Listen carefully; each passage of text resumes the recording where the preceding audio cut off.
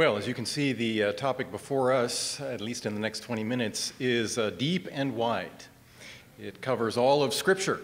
So uh, I've been talking about Scriptures for uh, 40 years, and so I'm getting that in 20 minutes. Uh, we'll see. At least I get to lead off. Sorry about you and Mitch, uh, Mitch and Michael. Anyway, when we talk about, you know, the, the future of of the, the land and the people of Israel, we are talking about something that encompasses a great amount of Scripture. We are talking something that engages the whole narrative that God has engaged for us all, from Genesis to Revelation. And so we are talking about, you know, something that's very complex, has a lot of data, and so there might be many tellings of what that narrative might look like, even among Christians. In his book, that is on the screen here for you uh, R. Kendall Soulen. He wrestles with the difficult question of what he calls his Christianity's traditional narrative. He, he lights the, the narrative this way. He says it's a fourfold, four episode uh, proposition. And he said, you might recognize this. I know I did when I uh, encountered his book. The first one is an original creation content, uh, intended for consummation. The second one episode is in the story is human disobedience and fall, and you can probably align chapter and verse where these, these episodes occur. Then we jump to redemption in Christ, and finally we end up with consummation. But then he asks, is anything missing in this narrative? Well, something stunning on its face. Two thirds of Scripture is not needed to tell this kind of story. You know, on its, whether you, whatever you think of Israel or not, that on its face is something, something's awry, something's amiss. You can tell the story that God has written for the world without two thirds of his revelation. So we need to ask the question what is the role? And it leads us to the, sto- the way Jesus described it. He's probably the best way to start the God man of Christendom.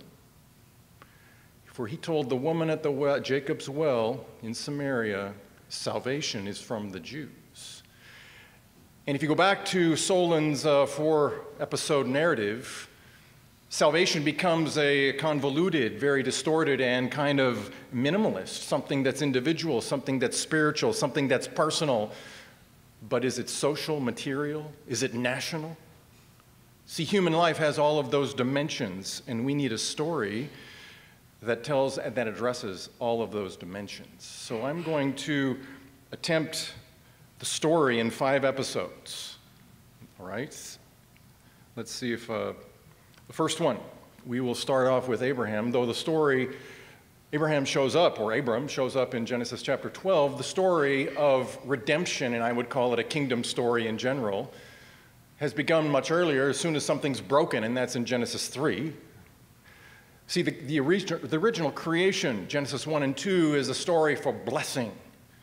If you want to talk about human flourishing from Scripture, from God's perspective, from the theological disciplines, you use the word blessing.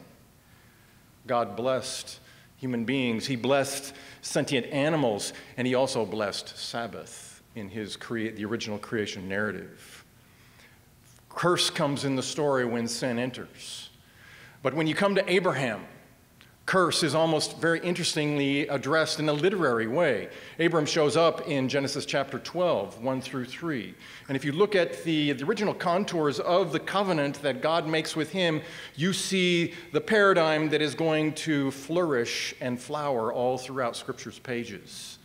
It's a, it's a story of blessing. And even there are five recurrences of the word to bless in those first three verses of Genesis chapter 12, verse 1 through 3. They correspond, of course, uh, Old Testament scholars tell us, they correspond to five curse pronouncements that have been in the narrative since Genesis, Genesis 3. So Abraham said, God tells him, I will bless you. You will be a blessing. In you, all of the peoples of the earth will be blessed. Those who bless you, I will bless.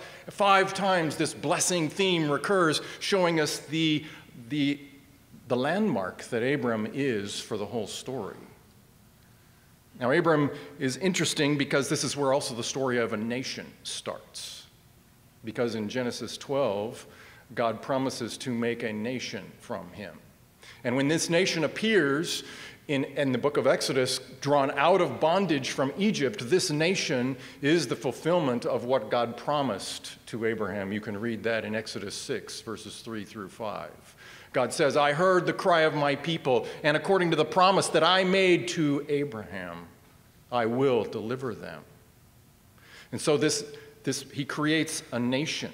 And so Abraham is at once the whole story, but we also see two aspects there listed here particular and universal. Particular, I mean a nation, a people from Abraham's loins. I also mean something that will affect all peoples. As verse 3 of Genesis 12 says, In you all the families of the earth will be blessed. So we have particular and universal all in Abram in the promise that God made for him for blessing. And so when the promise is fulfilled for the first time in Exodus at the deliverance of Egypt, of, of God's people from Egypt, we have this nation, and God for the first time has a national entity on the stage of human history. Part of the answer to our question about the future of a nation of Israel starts here with why God needed to make a nation in the first place. He had his righteous people. There were followers of Yahweh in Goshen. So, why does he need a nation on the scene of the world's history? That's part of the answer to what we will find in our discussion of the future of Israel. So, he makes what he calls them, they are called a kingdom of priests, a holy nation. And then we, we get here something that's very important from Abraham is the nature on which, the basis of which this is promised. It's a promise from God Himself. The writer to Hebrews in chapter 6, verse 13 says that He swore this promise, that God swore this promise on His name. And so the question of Israel's future is a question about God's name. It's a question of electing faithfulness of the covenant keeping God. It is something independent of human obedience and human ability. And that's why Abram still stands as, as the North Star all the way through Scripture. All covenants relate back to him. Jesus, when he comes, comes in fulfillment of the promise of Abraham according to Luke chapter 1. And then when we come to the new covenant and the fulfillment of how the prophets talk about, Abram is the father of all who believe, Jew and Gentile. So we have a nation, but when we talk about a nation, we need to talk about something that might be a little bit uh, on, the, on the back burner for a lot of us. When we read the newspaper and we read nations, geopolitical news, and things like that, we rarely think theological.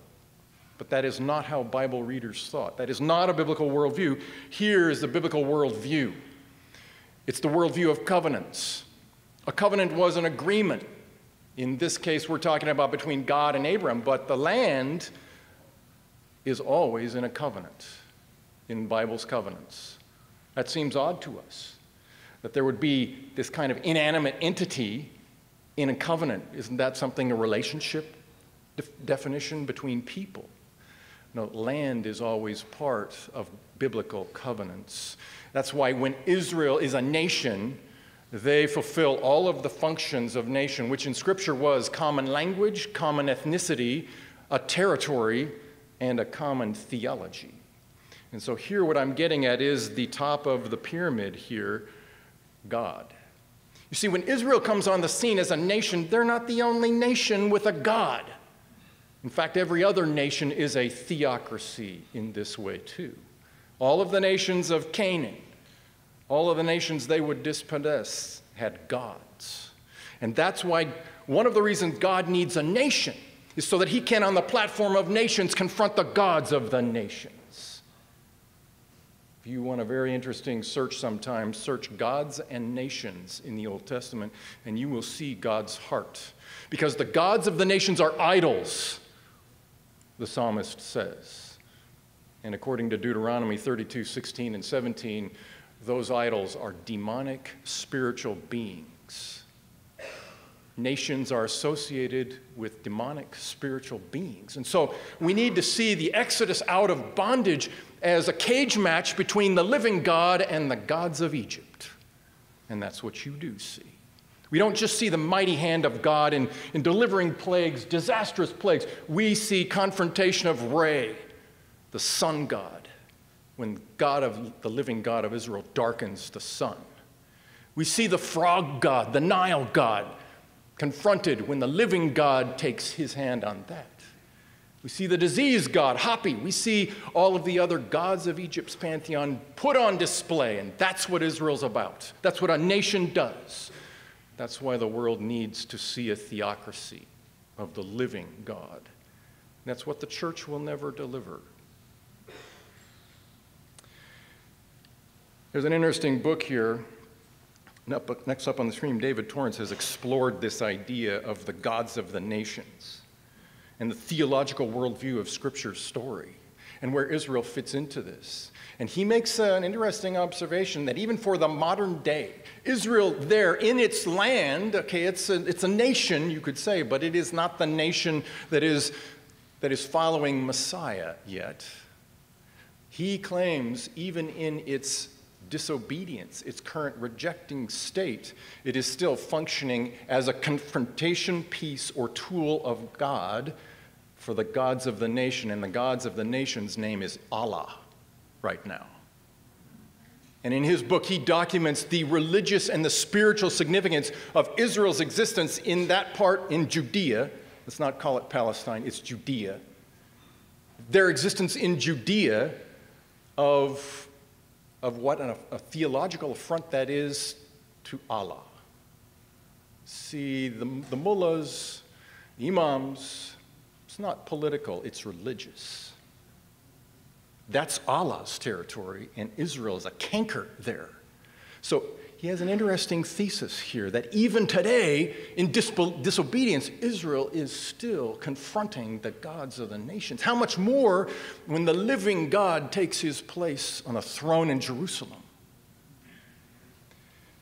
I got to go through uh, quickly. Number two,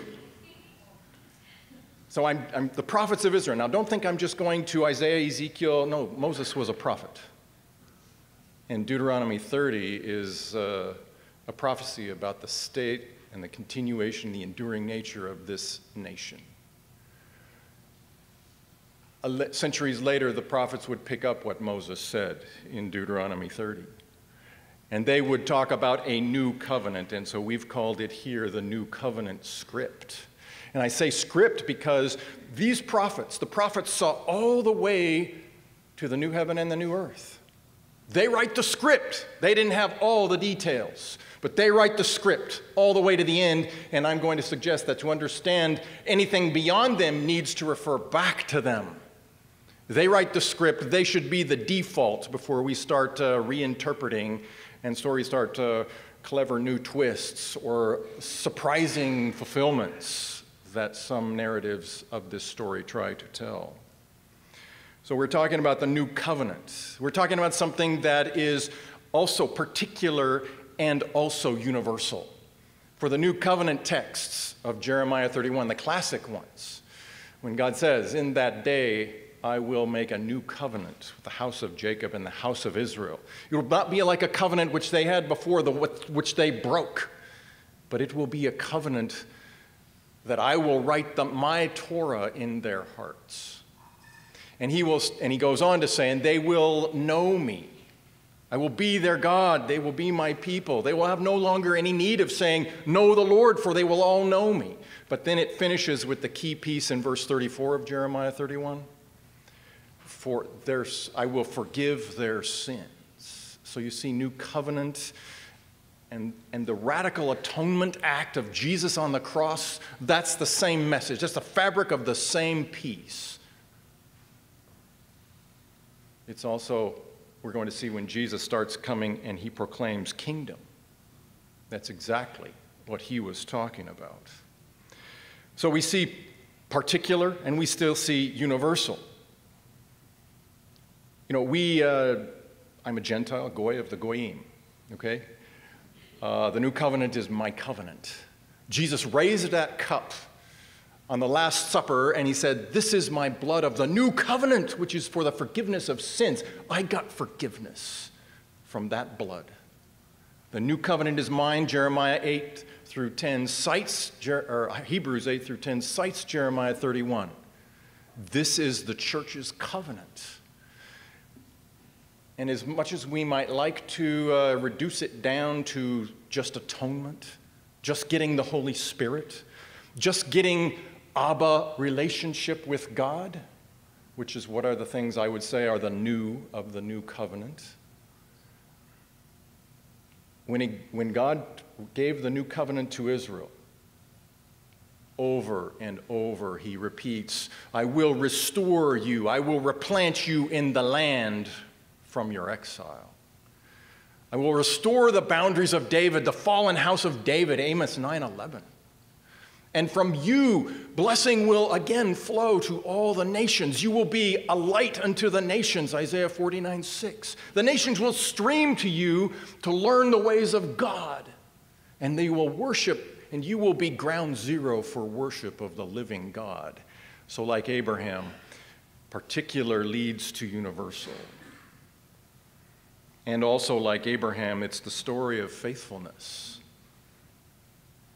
For God, who swore by his name to the covenant with Abram, makes the same promises when he promises to restore Israel. That's why the comments here of this man, Jakob Jocz, I think are profound. Its theological significance, the future of Israel has a theological significance. See what he says? Theologically, the failure of Israel is an impossible position, for it calls in question not only God's wisdom and power, but his faithfulness. Thus, the very meaning of covenant in the biblical sense is annulled. In the context of prophetic revelation, berith, the word covenant, invariably means God's unswerving loyalty to Israel and stands as a sign and token for the faithfulness the of the unchanging God. Israel, therefore, must remain the Am Yahweh, not because he deserves it, because the God of Israel is a covenant keeping God. There's bigger stakes here than just a nation in how we narrate what Scripture's story is. We need to move to number three. Number three, we move into the New Testament. we move into what Paul the Apostle called the sum of all that God has done in heaven and in earth Jesus. In the books of the New Testament, uh, they were originally given the name New Testament off of the word covenant. And uh, somehow in the English, uh, we took a nuance, a legal nuance, and we also left a storyline of covenant. But these books, and I love the way my messianic friends talk about, they say, turn in, turn in your new covenant to Matthew. That's how we all ought to talk because these are books of the fulfillment of the new covenant script in Jesus Christ, all 27 of them. And so when we're talking about when Jesus says salvation is from the Jews, he's meaning new covenant salvation. He's meaning blessing returning to all dimensions of human life. Not just the personal vertical relationship with God, but the horizontal social implications and national ones, because that's what human life is too. It's nationed. He's talking about the kingdom of God. And when Jesus, he's the preacher of the kingdom of God. And when he comes preaching it, repent. The kingdom of God is at hand, rolls off his lips without definition. He doesn't come and say, Oh, by kingdom of God, by the way, I mean the, the rule of God in your heart. I mean allegiance. I mean taking the yoke of Yahweh the yoke of Torah. No, he doesn't say that. He just says, repent. The kingdom of God is at hand. Now, if you're an itinerant preacher, which is a prophet model, which Jesus was, you're communicating with an audience and you use common terminology that they also know, but you don't redefine it. What is the assumption here? Is that you're speaking the same language. And in the beginning of Jesus' ministry, he does nothing to give uh, an idea of otherwise just comes off his mouth. Repent, the kingdom of God is at hand. And many people, they want to redefine kingdom and say from the very beginning, Jesus meant something other. He meant the spiritualized kingdom. I would suggest that's not true. For, Christ, for the, the New Testament, the Gospels, Jesus never says, guys, don't you know the kingdom of God is the rule of God in your hearts? He never says that. You know what he does call them on, though? Is what we got up here in Matthew 11. Here's something explicit what they missed. It's not their understanding of kingdom, They didn't want to repent. And he calls them out for it. You see, that's our problem. That's humanity's problem all the time. We want the goodies without the condition. We don't want to have to tremble before the one whose word demands our contrition. We just want the goodies. They were like we are. They wanted the goods without repentance, and Jesus will not play that game. He will not. And so we need to understand that when Israel rejected him, we start to get more uh, information from Jesus. Jesus starts to talk about things and things you wouldn't understand of the kingdom from the Old Testament. He would give more details. He would say that Israel will be disobedient, but others will enjoy the blessings of the covenant in their disobedience, in Israel's disobedience. But he says their disobedience is temporary. It's not a, it's not a fall, it's not a stumbling so as to fall, as Paul would say. Jesus in Matthew 23 holds out. He says, I would have gathered you as a hen gathers her chicks. But you would not. Therefore, your house is being left desolate to you until, he says, until you say, Blessed is he who comes in the name of the Lord. They will one day. So Jesus recognizes rejection that took him to the cross, but he also recognizes a future for this people. Their story is still live. We knew to the apostles.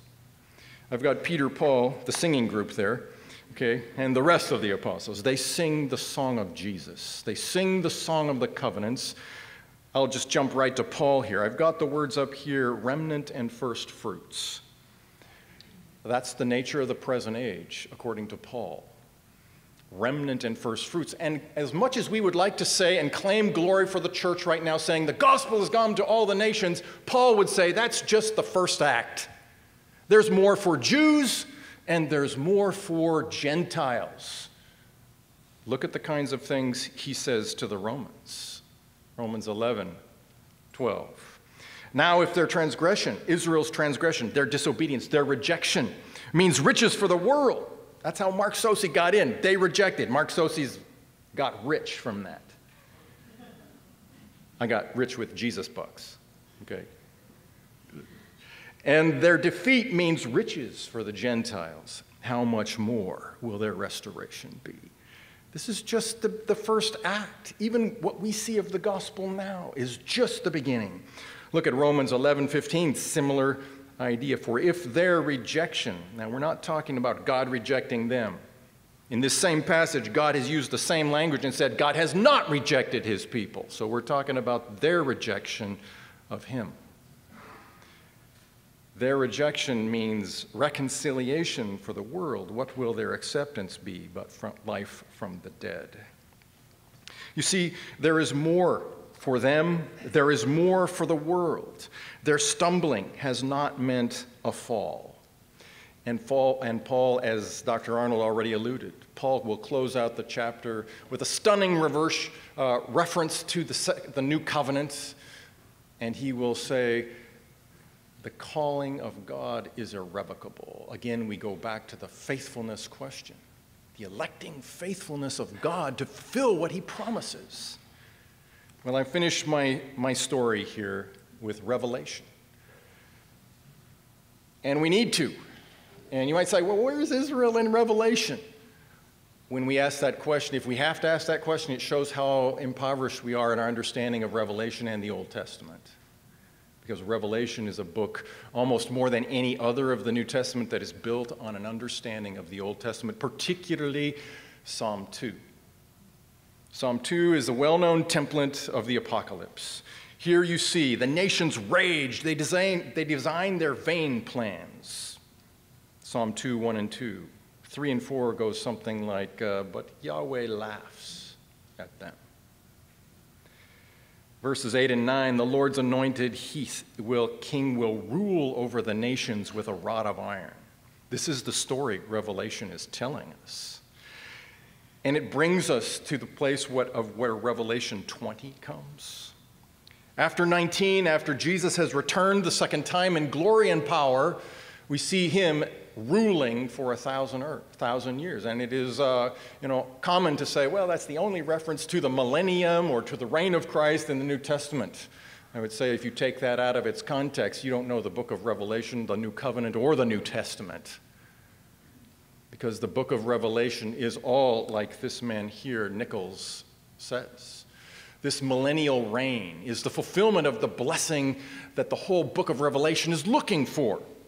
Look at what he says, Revelation 24 through 6, where the millennium is, the future of Israel, the rule of Christ is a victory celebration. Its straightforward reading would indicate an integral to the victory celebration of those who refuse to bear the mark of the beast is their assumption of power over the nation. Psalm 2, a paradigmatic text for the apocalypse, is now fulfilled. The Lamb, God's Son, is now evident ruler over the kings of the whole of the earth. Martyrs, now have the answers to their prayers. We could go on and on. Jesus said salvation is from the Jews. Salvation in all of its fullness. Human life blessed individually, personally with God, restored to communion with Him, socially with just social institutions, nations, cosmically human relationship even with the created order.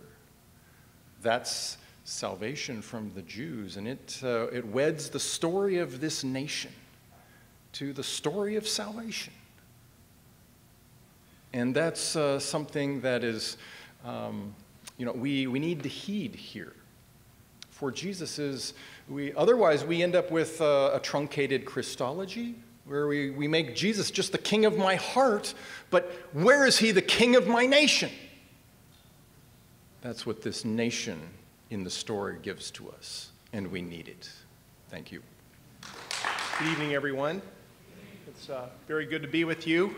Really appreciated that uh, message from uh, Dr. Saucy. I don't know about you, but after hearing that, it's pretty clear that the, the scripture is clear on the future for, for Israel.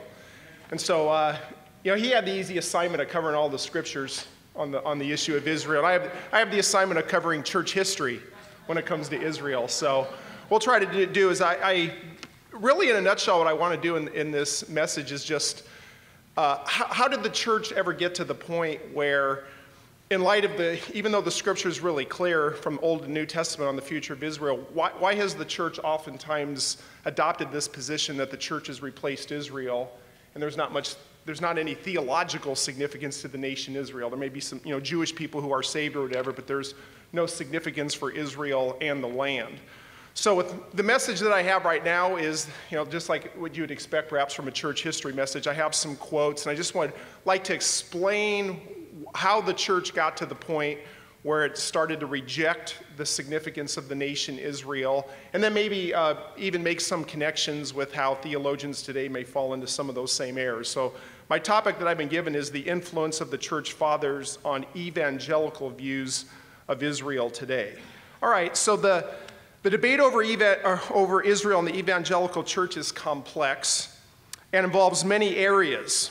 And while the debate often focuses on biblical issues, and rightly so, the church history is also important. And, and really, what we're getting at here is that, you know, th- those who are going to be on both sides of the issue in regard to Israel are going to want to use church history as support. And so, um, what I want to talk about here, and, and just so you know, um, there will be times where I read, you know, I look at a quote, I'll be reading from that, but there'll be other times where I may summarize a paragraph, so just be aware that, that I may go back and forth uh, on that. Uh, jumping to the section on the replacement or restoration, uh, one of the things that you should know is that in church history, starting with the early church, there have often been two paradigms or models for how uh, the relationship between church and Israel is viewed. And, and, when I refer to the early church, I'm mostly referring to the period after the writing of the book of Revelation, you know, around the in, in 90s AD through the uh, early 400s, uh, around the time of the death of the great church father Augustine. So uh, there are basically two paradigms or models that the church has often uh, adopted in regard to Israel. Uh, the first is what is called a replacement view, and the second is a restoration perspective. So, if you can get that, that there's been two primary models. In, in a nutshell, what I'm going to argue is, is that The early church eventually ended up adopting both models, so there was a little bit of a tension when it came to how the church viewed Israel. And that, that tension is found today. And so today, just as in the early church, there will be a replacement model and then a restoration model. That is also true for what we see today.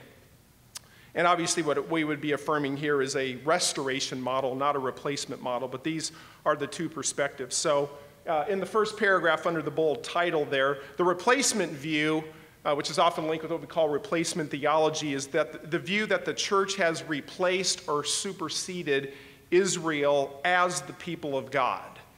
And so, you know, you have Israel of the Old Testament and the Jewish people, and yet somehow the title of Israel has now been transferred to the church in such a way that the church becomes, in a sense, kind of like a spiritual Israel, and to such a degree that you shouldn't expect a, a future restoration or theological significance for Israel because supposedly the church has become everything that Israel was supposed to be. Now, there's been different ways that that's been argued. Uh, in the early church, there was oftentimes the belief that Israel acted wickedly in rejecting Christ, and therefore God has permanently rejected them.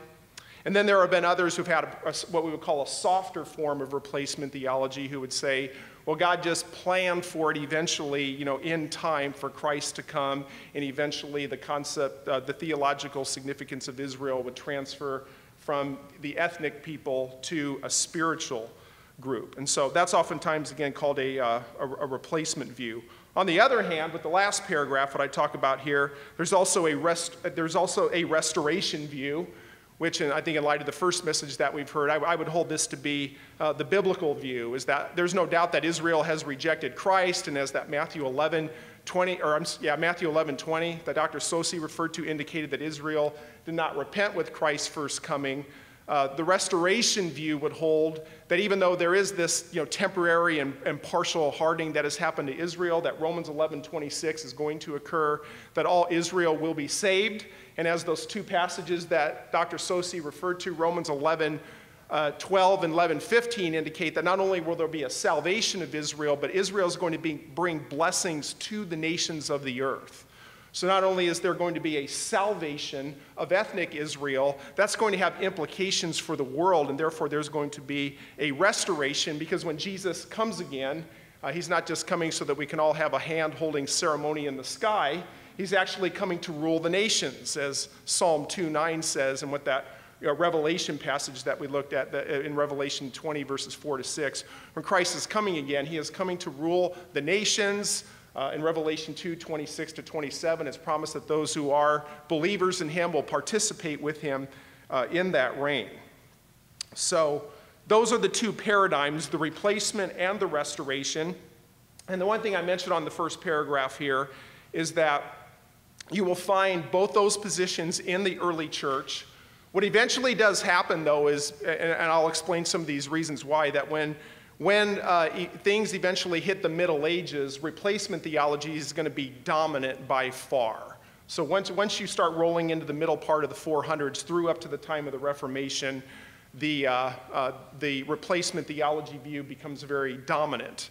Once you hit the Reformation period, the first generation of reformers are uh, most of them still hold a replacement theology, but there's some factors that take place where people are starting to become more literal with the scriptures.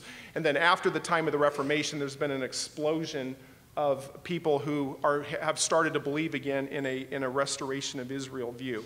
But, but the thing I want to focus on now, particularly as we hit what we call the patristic era from 100 to 450. I, I, just wanted to help you understand a little bit of the, uh, the, the, rise of replacement theology. I basically just give some reasons here as to why the church eventually started to go this route. Uh, in spite of the testimony of both the Old and the New Testaments, um, it, it, seems to be the case whenever there are a lot of Gentiles in the church that sometimes there ends up being this idea that God is done with Israel. As a matter of fact, that was addressed in the, in the book of Romans in chapter 11, verse 1. Uh, where you know Paul makes the statement, "I say then, God has not rejected His people, has He? May it never be." Now, Paul wouldn't make that statement if there weren't some who were starting to come to the conclusion that God had rejected Israel. And so he has to tell them that they have it. And he ends, you know, with Romans 11, 26. He says that all Israel uh, will be saved. So I think, I think even in the first century, there started to be hints and a tendency towards that replacement view.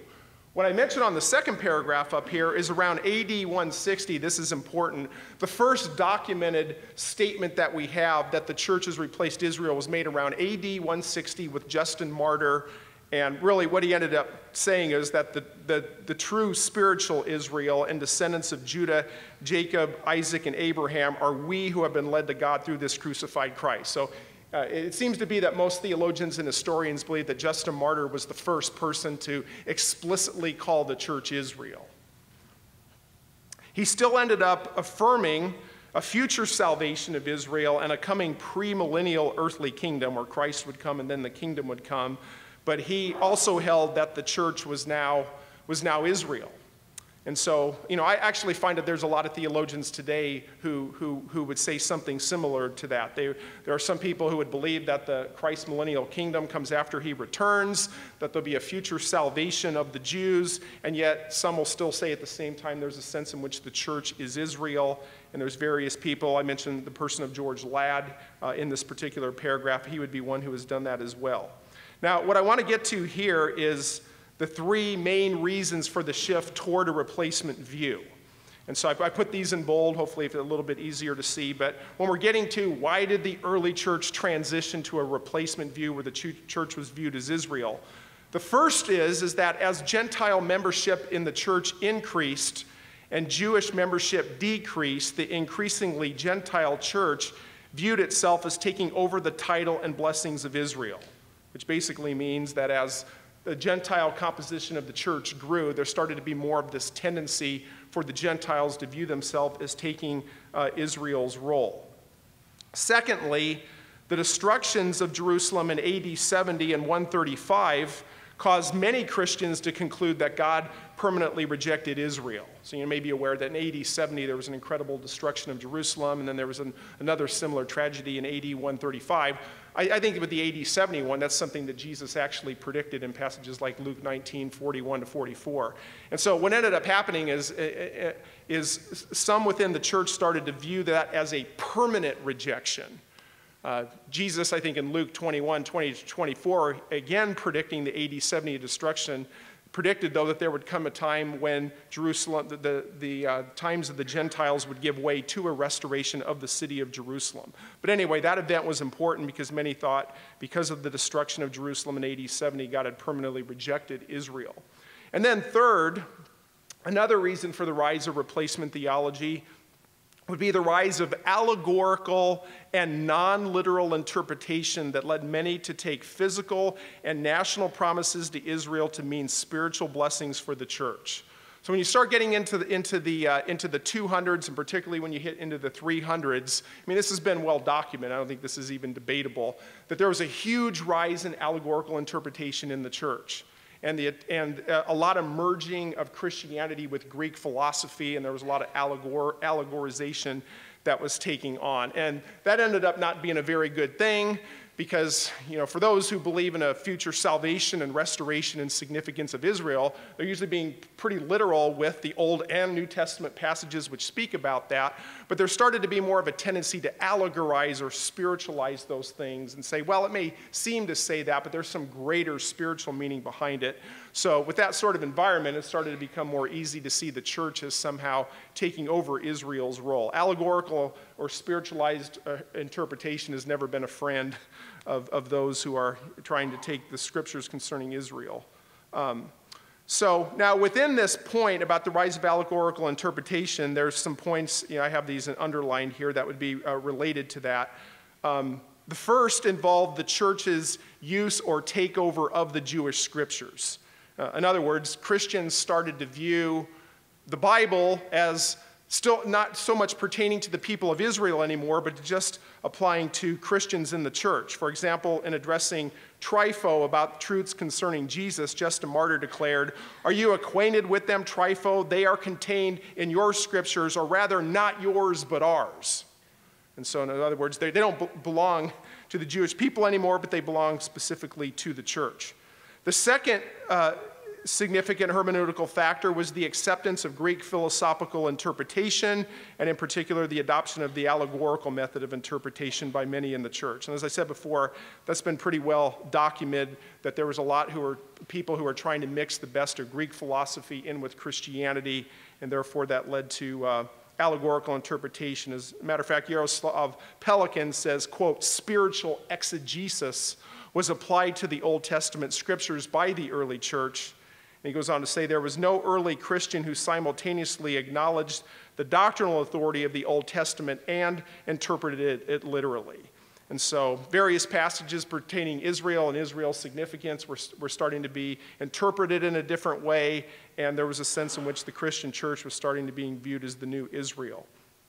Um, the third factor relating to what we call hermeneutics or interpretation principles was the church's perception that it was the genuine continuation of the Old Testament faith.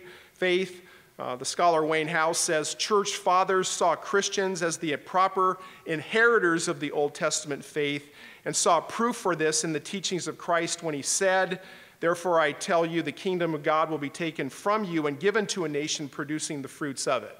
So some began to interpret that Matthew 21 43 statement about the kingdom of God being taken away from them and given to another, to another nation, as indicating that that was the church. And uh, when in reality, it, it uh, I mean, it's, it's, that, that, that's a verse that a lot of people have uh, debated. Uh, I personally think it has a reference to a future generation of Israel, but many in the early church were taking that as a reference to, to the, the church being given the kingdom and it being taken away forever from Israel. Um, there was also the belief that the church had inherited the covenants of Israel. This was the view of the Epistle of Barnabas, which was a pretty early document where it says, I further beg of you, take heed now to yourselves, and not to be like some adding largely to your sins and saying the covenant is both theirs, the Jews, and ours, Christians, but they finally lost it. And by lost it, that would, in a sense, be in a, in a, in a permanent sense. So, the adoption of the allegorical interpretation did much to harm the claims of the Bible concerning Israel and the land, since it offered an opportunity to deny straightforward statements of Scripture and to take passages pertaining to Israel and their land and to spiritualize them. Some modern replacement theologians, I'm talking about when you get you know, uh, into the 20th century and beyond, some modern replacement theologians have appealed to church history for support. For example, William Cox says that belief, belief that he, he says that belief that national Israel was a type of the church when he said, and here's the quote. He goes on to say, the historic Christian teaching holds that national Israel was a type or forerunner of the church, and that the church replaced Israel on the day of Pentecost. So he explicitly says there's been a replacement. Uh, the conversion and reign of the Roman Emperor Constantine was also significant. Uh, Christianity was very persecuted before the time of Constantine, his reign in the early uh, 4th century, uh, when, when, almost overnight Christianity became accepted and tolerated.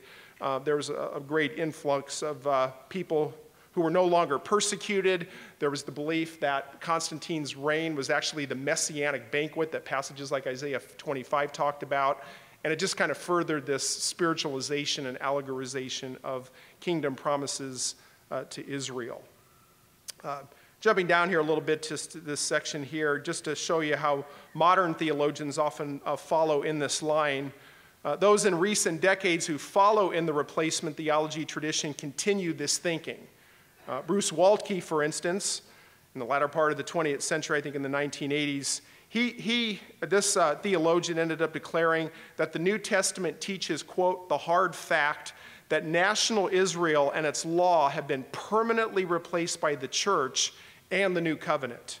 According to Hans K. LaRondelle, the New Testament affirms that, quote, Israel would no longer be the people of God and would be replaced by a people that would accept the Messiah and his message of the kingdom of God.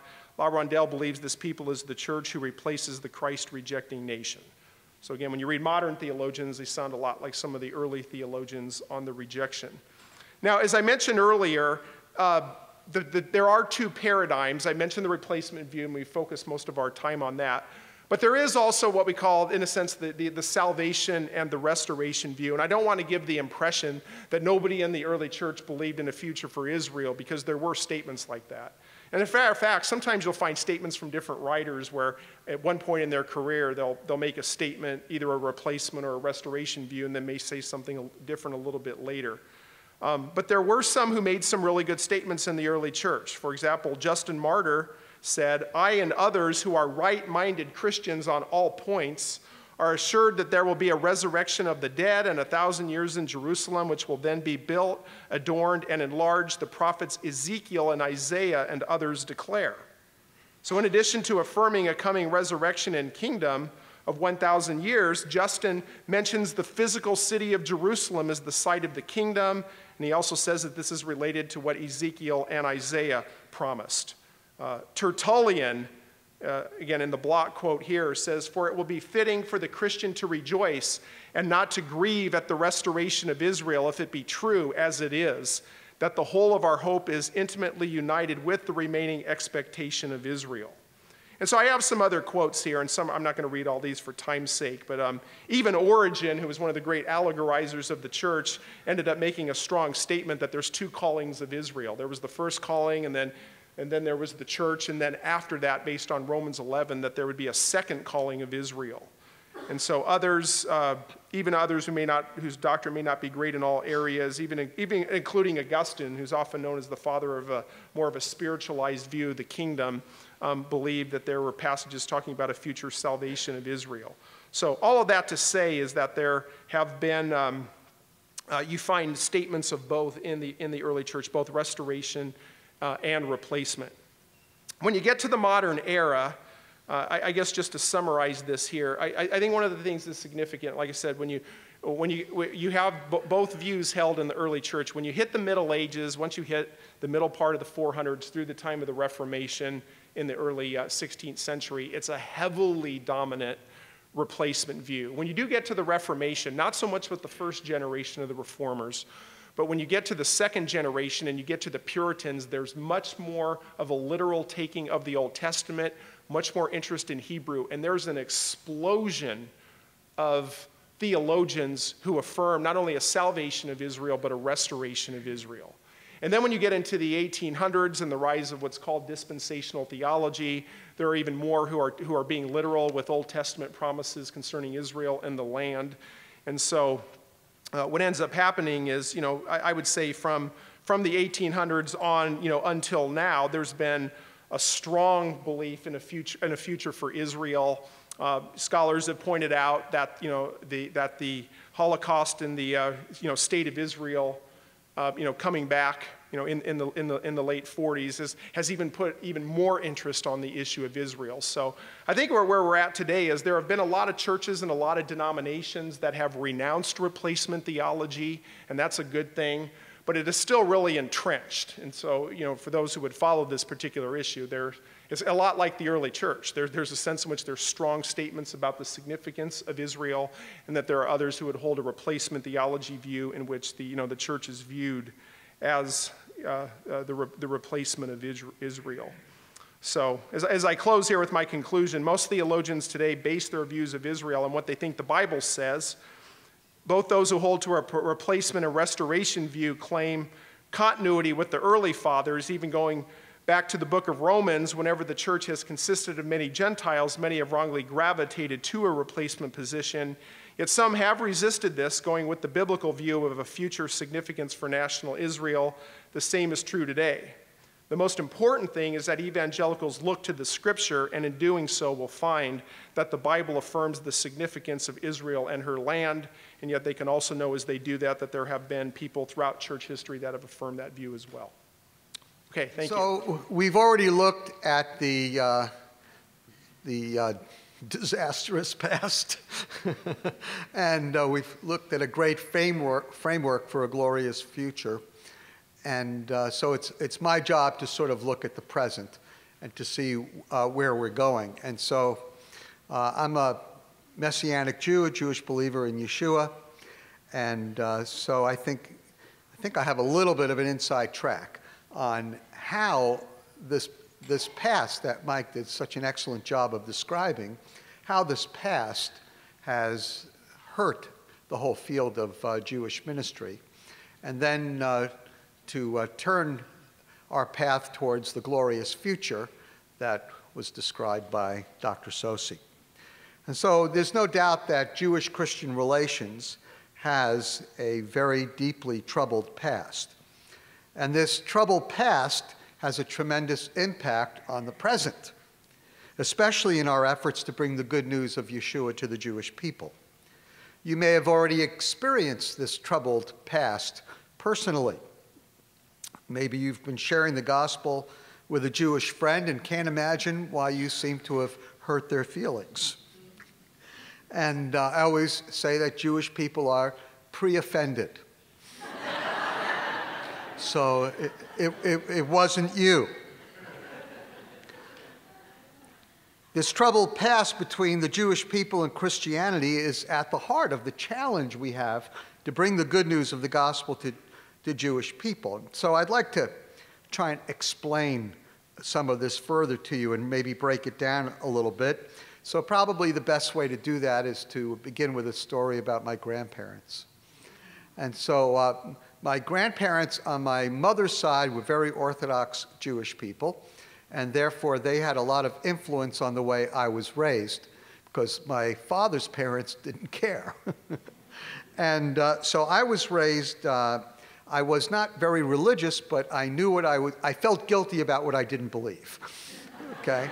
And so I knew enough to feel guilty. And uh, when I became a believer, I, uh, of course, went to share the good news with my parents and my grandparents. And uh, there was some misunderstanding. I thought, no, honestly, I thought surely my family would understand that I was Jewish. They were there, you know, when I was born. And I, so I mean, why would my family say you can't be Jewish and believe in Jesus when it was me? But they did. And, uh, and so I remember one incident where I was really trying to explain this to my father's parents. My, my grandmother was more of a traditional Jewish woman. I think my grandfather was kind of a Polish socialist, which was very popular among in the Jewish community at that time. And so I visited my uh, grandparents' home in uh, Coney Island in the Holy Land in Brooklyn. and we were sitting around uh, talking uh, over, over lunch. And uh, I was trying to find a way to explain all this to my grandparents, and they were trying to figure out why I believed in Yeshua and Jesus rather than Moses or Marx. And uh, and my dad's. And, uh, and so basically, I, I thought I'd take the lead, and I posed a question to my, my grandmother. And I said, Grandma, Dad doesn't go to synagogue, doesn't really believe in God, doesn't really practice the Jewish religion. I, on the other hand, married a nice Jewish girl. I studied the Hebrew scriptures. I do more Jewish tradition than my father ever, ever did. And so, who, which one of us, my father or I, are the better Jew? I thought that was a fair question. my grandmother didn't hesitate for a moment, and she said, Your father. Now, you have to understand why. What was she really saying? What she was saying is, being Jewish is much more than believing the right things. It's essentially a community identity which includes religious elements. But at heart, it's not necessarily religious. And a person may be viewed as part of the Jewish community as long as certain lines are not crossed. However, if you cross one of these somewhat invisible parameters at times, you could easily cross right out of the Jewish community. And believing in Jesus is one of those hidden lines, perhaps the boldest of the hidden lines. And once you cross over, there's no way to return to the fold except by recanting or renouncing uh, your faith. So, in other words, you might not be part of the Jewish community by virtue of your beliefs. Certainly, my father would not have merited acceptance by, by the nature of his beliefs. But you can be removed because of your beliefs. and I was about to be, re- be removed. So you can be You can be a secular Jewish person, you can be an atheist, you can be an agnostic, you can become what, I, what we call a Boo Jew or a Hu Jew, a Buddhist Jew or Jew, Hindu Jew. You can be a Wiccan, you can be an extreme anti Zionist and still be considered part of the Jewish community. But if you believe in Jesus, well, you're out. thanks to what Mike told us. Not thanks to Mike, but thanks to what Mike told us. And so I thought I would uh, maybe just give you a few principles to think about. Uh, first of all, not believing in Jesus is part of the Jewish soul. It's important for you to know that not believing in Jesus is not necessarily a well researched decision for most Jewish people. It is a cultural given, it's part of our upbringing. We learn it at our mother's needs. Jesus is not for the Jews. The Jewish people you meet will be far more resistant to the gospel because of their fear of a community reaction than because of any well considered theological disagreements over who the Messiah might be. Somehow the Lord must shed an abundance of grace in our hearts for a Jewish person to make the step. I mean, the way I was raised, I think any Jewish person who comes to faith in Jesus, it's just an incredible miracle. It is. Um, somehow the Lord must do a work in our hearts because when a Jewish person takes that step of faith and becomes a follower of Jesus the Messiah, it's really tantamount to committing ethnic suicide. I grew up with uh, learning about uh, what happened in the early days of, of uh, the Jewish people, and uh, particularly the Middle Ages were my favorite. And, uh, you know, I, I, had romanticized all my Jewish heroes who were faced with the decision to convert or die during the Inquisitions and so on. And uh, the Jewish people that I read about and idealized were dedicated and chose death over converting to Christianity. And uh, it's not far from the truth. Now, I don't know how many really did that, but that is the mentality. Convert or die, we'd rather die than be faced with that choice. I think the number one reason why Jewish people do not believe in Jesus is because Jewish people generally think that if you believe in Jesus, you're no longer a Jew. However, I'm happy to report that a recent study by the Pew Foundation, hold on to your yarmulke, okay, uh, has identified some change in this area. According to the study, an aggregate number of 34% of Jewish people in the United States believe now that it is possible to be Jewish and believe in Jesus. I found this to be incredible and encouraging. Of course, it still means that two thirds of the Jewish community do not think it's possible to be Jewish and believe in Jesus. But when I came to faith, I would imagine that number wasn't 34%, maybe it was like 2%. So we are seeing some progress. However, I believe that the progress is more a reflection of the breakdown within the Jewish community in the United States through intermarriage and assimilation rather than some type of softening towards Christianity. We need to be realistic about why these numbers are changing, and it's not always for good reasons. Yet still, I'm glad for the change. Secondly, the Jewish community generally views Christianity as a threat. Why? Because of the past, because of the troubled past. In his book, Faith or Fear, an older book now, 1997, how Jews Can Survive in a Christian America. Elliott Abrams, who worked in uh, various administrations uh, for the government, he was an advisor to George uh, W. Bush, supervised Middle East policy in the White House, very smart Jewish guy. Elliott Abrams argues, and a religious Jewish guy, argues that the Jewish community should not be afraid of Christianity, but rather view evangelicals as allies in both the political arena, especially because of the traditional evangelical support of Israel, and in their concern for more traditional values. And yet, the average Jewish person is still threatened by Christianity and uncomfortable when the church plays a more prominent role in the public sphere. For example, have you ever wondered why Jewish people generally oppose school prayer? It's because Jewish people don't like to pray. Not really. That's not it. It's not because Jewish people do not believe in prayer or that they do not pray. It is because Jewish people know that if people are going to be encouraged to pray in the public sphere, that the prayers will probably be Christian prayers. And your Jewish neighbors do not want Jewish, their children, to pray the Lord's Prayer. Uh, some of you would be happy if anything was prayed in, in the public schools today, I know. But Jewish people want to remain separate from Christianity and do not want their children to be influenced by Christianity, and they don't want them to pray the Lord's Prayer or any other prayer that can be considered Christian. You see, in the Jewish mindset, whenever Christianity gained control over public life, the Jews suffered. Solomon Grayzel, a Jewish historian, wrote, The history of Judaism and Christianity is written in blood and punctuated with violence. And the Jewish community cannot easily separate the preaching of the gospel and their fear of Christian control of the public places, public place. And so we need to be sensitive to this. In fact, Jewish people sometimes see evangelism as a threat.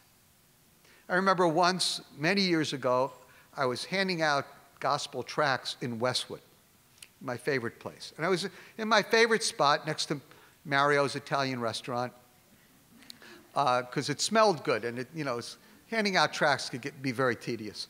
And and so I always had the hope of dinner afterwards. And, and so people, it was getting late, and movie theaters were getting out, and I was, you know, I, I wanted to hand out all of my pamphlets, and, and there was really nobody left. And I had just one or two left, and I saw this old guy crossing the street. It looked like he was the last one to leave the movie theater. He watched all the credits, and, you know, and took his time. and so he started walking very, very slowly and I saw his face uh, in, the, in, the, in the street light, and he looked just like my grandfather. And uh, so I had this warm feeling about him before he ever crossed the street. However, I don't know if he had that feeling about me. And so he, he crossed the street, stepped up onto the, uh, the uh, sidewalk, and I said, Good evening. And I said, Would you like to read this? And he smiled and he took it and he said, Thank you very much and he didn't look like he was in a rush to go anywhere. And he kind of just sauntered down the street, looked at the pamphlet, read most of it. I was just waiting. He turned around, walked back to me, looked at me with a twinkle in his eye, and began tearing the track up meticulously into small pieces. And then he took the track with the pieces and threw it at my feet. And he looked at me and he said, Young man, you're trying to complete what Hitler started. Okay. Now, I understood. I was stunned. I almost started weeping on a street corner, but I, I understand it. I was raised that way. I understand it. Jewish people see evangelism as a threat. Therefore, it is the Jewish community leaders' role to oppose evangelism. We have the church fathers to thank for some of this, but uh, we have others to thank as well. Uh, the officials of the Jewish community consider it their sworn duty to oppose evangelism. Organizations like the B'nai B'rith and Anti Defamation League that started out fighting anti Semitism, when they ran out of anti Semitism to fight, they began fighting evangelism because, in the Jewish mindset, trying to convert Jews is a form of racial hatred. It's, it's, it's something that leaders oppose. And so evangelism is often viewed as an effort to impose the Christian religion upon the Jewish people and a restriction to our freedom to believe whatever we want. Christians argue, and so do many Jewish people, that we live in a religiously free country and have the right to practice our faith. However, right or wrong, Jewish people still view evangelism as a threat and they will protest evangelism, even though we live in a free country and people understand we have the right to share our views, but in the Jewish mindset, you're not sharing it. You're the dominant religion and you're opposing your faith on a minority, and that's not fair. That's the Jewish mindset. Uh, Abrams addresses this in a very interesting way that gives me a little bit of hope. He says, it is, it is unreasonable for Jews to demand of Christians that they abandon a central tenet of their faith, which calls for evangelizing, for spreading the gospel to the world. Indeed, from the Jewish perspective, Christian evangelizing has brought the knowledge of the Hebrew Bible and the Ten Commandments to millions never reached by Judaism. But the rejection has meant disaster for the Jews. If today Christian churches have abandoned their traditional contempt for Judaism, perhaps the wish to spread the gospel will not uh, be attended in the future by episodes of anti Semitic talk and activities. Evangelical activities are not inherently anti Semitic. Why would he even bring that up? Because of what Mike told us. Any more than the Jewish efforts to convert Christians are inherently the mark of bigotry or a deprecation of Christianity. What determines whether evangelizing is anti Semitic is what is underlying it, and Christian attitudes towards Judaism have changed enormously in the last few decades. I guess uh, uh, for the good. Uh, there's a uh, if I might step on your toes, Mike, uh, you didn't bring out, uh, you have a lot in your paper and you've said a lot about Luther, but let me just tell a quick story. Um, I, I, like Luther for a lot, a lot of reasons, and I think that maybe he hated everybody as much as the Jews. And so I think we have to be fair. And so Luther uh, talked in one, in, discussed in one of his table talks he said, The next time I baptize a Jew, I'm going to tie a rope around his neck, tie the other end to a stone, throw it into the Elbe River along with the Jewish person, saying that I baptize you in the name of Moses, not Jesus. Okay? It's in his table talks. Now, he, obviously, he was upset. And, the reason some people say he was upset is because he had tried to win Jews to Jesus and then Jewish people resisted, and therefore he was very upset. So between 1517 and the early 1540s, when he passed away, he went from that Jesus Christ was born of a, of a virgin to the Jews in their lies in 1542, I think, or something like that. And, and so there was a, a big change in Luther's uh, uh, life. And of course, Hitler in Mein Kampf quoted Luther. And Jewish people know this. They know this. And so, because of of this, Jewish people, again, feel very threatened uh, by evangelism, and, uh, and, that's, and that's a problem. Uh, next, most Jewish people cannot differentiate between Judaism and Christianity. Uh, Jesus and Christianity. Certainly we can between Judaism and Christianity. Uh, we've already made the point plain that there's a bloody history between Judaism and Christianity. The, this history has been repented of, by the way, by the Missouri Synod Lutheran Church and others. And even lately, uh, the Vatican has been uh, repenting, and they've gone all the way, not just saying that uh, Jewish people are still uh, precious to God, but that Jewish people don't even need uh, Jesus. Uh, for some, this really means throwing the baby out with the bathwater and stating that evangelizing the Jewish people is no longer appropriate, and the Catholic Church is not the only one who has done that. I think it's going far and it's not very biblical. But even this change of heart and these public statements are not going to make the general Jewish population any warmer towards Christianity. Even though we live in a pluralistic society side by side with Christians, most Jewish people still mistrust Christianity. When sharing the gospel with a Jewish person, we must show the difference between believing in Jesus and joining a church an institution that has harmed the Jewish people. Do you follow what I'm saying? There's a big difference.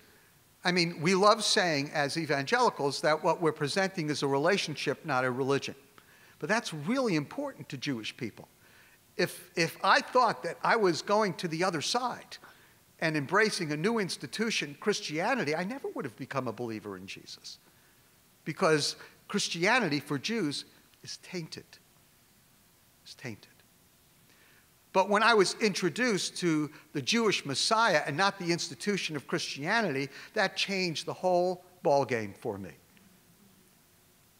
And that's what we need to do.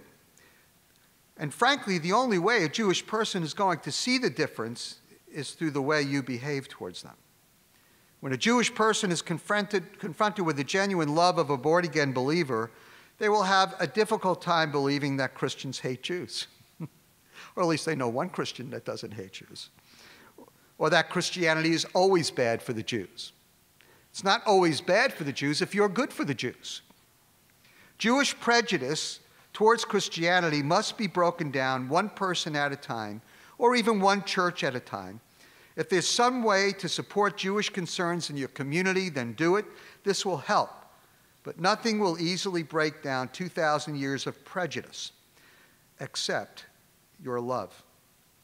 Somehow we must show the Jewish people the difference between Jesus and the Christianity that has been destructive of the Jewish people. So, uh, in conclusion, uh, there's a glorious future, and that future, again, is outlined. We keep, we keep going back to Rabbi Shaul, the Apostle Paul. And in Romans 11, verses uh, 12 and then 15, he writes, If their transgressions uh, be, uh, is riches for the world, their failure riches for the Gentiles, how much more will the fulfillment be? Then he says, If their rejection is the reconciliation of the world, what will their acceptance be but life from the dead? And again, what Paul is saying is if you think that God has blessed the Gentiles through Jewish people not believing in Jesus, wait till you see what happens when the Jewish people participate and believe in Jesus. So that's a glorious day. So there's a glorious day coming. And, and it's a glorious day for the Gentiles, but it's also a glorious day for the Jewish people. And Paul writes again in Romans 11 25 and 26 For I don't want you, brethren, to be uninformed of this mystery and be wise in your own eyes that a partial hardening has happened to Israel until the fullness of the Gentiles has come in, and so all Israel will be saved. So there's a bright future. There's been a very, very bad past, but there's a very, very good future. And there's a good future because God is faithful to his covenants and promises, as Dr. Saucy mentioned. And how are we going to get there? Well, I have a few ideas. First of all, Romans 11 11. I say then, they did not stumble so as to fall, did they? May it never be. But by their transgression, salvation has come to the Gentiles to make them jealous. More Jewish people come to faith in Jesus as the Messiah through Gentile Christians than through Jewish people who believe in Jesus, except in Israel. And so God wants us to make Jewish people uh, jealous. And it is uh, a biblical methodology that really uh, does work, but it must be sincere and it must be bathed in love and prayer. Uh, just a few suggested steps forward. So, one is focus on Jewish evangelism. I'd, I'd, I'd love to see the church refocus on telling Jewish people about Jesus, about Yeshua. This is important. This is what this is all about, isn't it? I mean, it's not just the hope for a glorious future, it's a hope that your Jewish friends will enjoy it too. And so we need to do this. The greatest grace you can show to a Jewish person is to tell them about, may I use this Hebrew name? Is to tell them, tell your Jewish friends about Yeshua. Especially if you do it in a way that affirms the fact that they can still be Jewish and believe in Jesus. Ask your church leaders, what are they or what are you doing to make the gospel known to Jewish people in the U.S. and abroad? Do you go to a church that supports missions to the Jewish people? If not, it should. Listen to everything we've been saying. And yet, some of you go to churches and you need to go challenge your missions committees if they are not supporting missionaries to the Jewish people. Why not? What earthly reason can believers have for not supporting missions to the Jewish people? I don't expect everybody to agree with me on Romans 1:16 that the gospel's to the Jew first and then also to the Gentiles, but it is in the Bible. Okay. Secondly, showing kindness to Israel and the Jewish people. Number one, don't believe everything you hear about events in the Middle East. You know, have some discretion, okay? You know, flip from CNN to Fox. You know, go back and forth, okay? or MSNBC. Watch, watch your websites, you know, And uh, some people can be so more pro-Israel than Benjamin Netanyahu, you know? And so, and so you've, you know, try and be balanced in, in this. Don't believe everything you read. Uh, uh, Palestinians are human, you know, it's true. Jewish people are human, Israelis are human. You know, it's a tough conflict, some, somewhat of a civil war, okay? But don't believe everything you hear. You know, uh, I, I stand up for the Jewish people. It's, it'll be good for your soul. Stand up for the Jewish people. Counter anti Semitism. Uh, if you see it, when the Jewish people suffer, pray and protest if necessary. Where were all the Christians when there was anti Semitism breaking out at, at the UC Irvine campus or at UCLA? You know, this is a Christian duty prayer and protest. And, um, and there are other ways to show kindness. Visit old Jewish old age homes and nursing homes, and you don't always have to overtly preach the gospel. Just go there and love on Jewish people. Sing songs and bring them snacks, you know? Just visit and pray for people. Send cards to your Jewish friends for the Jewish holidays. They will appreciate your sensitivity and love. Build local bridges. Find ways to engage with the Jewish community to counter the negativity most Jewish people have towards Christianity. Engage the Jewish people. Visit the LA Holocaust Museum. Not just that, give money to it. Uh, support it. It's doing a good work. Uh, the Holocaust Museum, if it is successful, then there will be less religious persecution of evangelical Christians from China to the Middle East. You know, there's a certain relationship that we have where we are all opposed to the restriction of religious freedom and we don't like religious persecution. Okay? And so get involved, get engaged. Take a trip to Israel if you're able with chosen people. And there's always time for marketing. so take a trip to Israel with any way you can. And then and then come back and burden your Jewish friends with your pictures, okay? Indeed, it will drive them crazy, okay? But it will be a good testimony that you loved Israel and uh, just be selective. Uh, vi- visit a messianic congregation, but you might not want to go there regularly, okay? Visit, or else there won't be room for Jews, okay? Visit a messianic congregation or find ways to get to know Messianic Jewish people and affirm them because, listen, let's face it, they're not going to win the B'nai B'rith Prize for Man or Woman of the Year, probably. Okay? And then finally, think theologically and act locally. So ask yourself this question Does the Bible promise the land of Israel to the Jewish people? I hope you believe it. And that doesn't mean Jewish people can't share, okay? But who has the deed? Okay? So if the Jewish people have the deed, then allow what you believe the Bible says about the land of Israel to shape your views of modern Israel. Be supportive. No one's perfect, but be supportive. In some circles, believing that Israel is a modern miracle is getting quite unpopular. But if you believe that the Bible predicts that the Jewish people will have the land of, of Israel, then don't shy away from standing for this. You know, be vocal, let the bell ring, uh, shine your light. And then finally, and maybe most importantly, pray regularly for the peace of Jerusalem. Pray that the Prince of Peace will reign in the hearts of Jewish people, will reign in the land of Israel, and that the day will come when the Prince of Peace, Sar Shalom, will reign in the kingdom on the throne of David. It's his to hold, it's his to have, and that day is coming. And so we can say together, even so come, Lord Yeshua. Thank you. Well, thank you to our three presenters and very different and very helpful perspectives that were shared. By the way, any of you go see the Dead Sea Scrolls when they were downtown Los Angeles? See a few people that did. Uh, Biola uh, University was a co sponsor with the Israeli Consulate General on that. So we had a hand in helping bring that to the Los Angeles area. It was a marvelous exhibit. There were a few scrolls and a whale of a lot of other exhibits that were there at the time.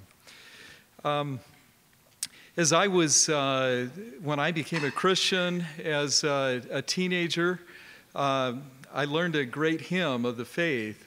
Uh, My hope is built on nothing less than Scofield's Notes and Scripture Press. And, and at that point in time, there was a lot of truth to that. Uh, in the church where I was raised, things have changed quite extensively, though, and a replacement theology has become far more popular in broader evangelicalism. And so the kinds of things you're hearing here, I don't know, it feels to me like it's losing some ground.